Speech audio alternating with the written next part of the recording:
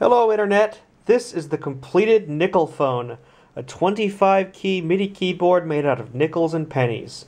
It's based on an Atmega 644 microcontroller, has a MIDI output port, and it senses all your presses via capacitive sensing, so it's just a touch sensor, so that's all it takes.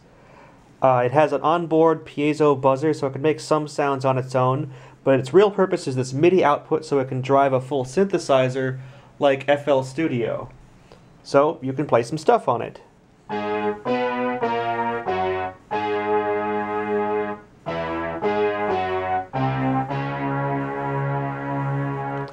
It's uh, it's pretty decent. I like it.